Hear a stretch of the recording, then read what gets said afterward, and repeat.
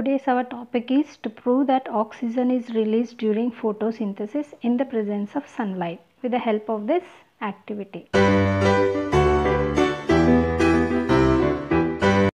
Apparatus required for this activity are beaker, test tube, funnel, hydrilla plant and water. Before doing this activity, we have to arrange the apparatus as shown in the figure. And we need to make two identical sets of it. One should be kept in the dark. Place some water plant like Elodea or Hydrilla or Chara in a short stemmed funnel and keep it in the beaker.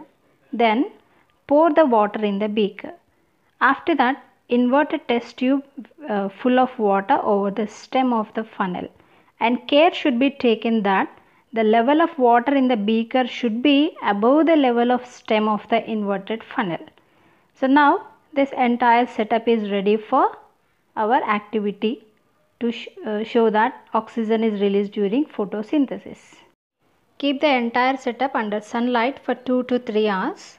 During this period, the aquatic plant present in the funnel is undergoing a process called photosynthesis in the presence of sunlight and uh, during photosynthesis a gas is released from the plant in the form of air bubbles which are accumulated at the tip of the test tube and those air bubbles are containing a gas called oxygen.